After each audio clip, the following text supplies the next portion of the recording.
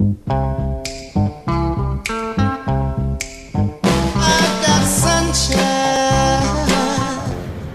eu sou Ana Lucoselli, eu tô aqui na Experience Lounge e eu vim aqui junto com eles inspirar você a fazer uma comidinha super gostosa pro Dia dos Namorados. É, a gente vai estar tá fazendo um risoto de arroz negro com duo de cogumelos. Vamos ver como que faz?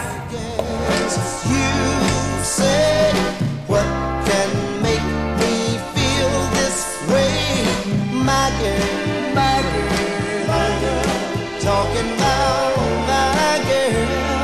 my girl. I've got so much honey, the bees me. I've got a sweeter song than the birds in the tree.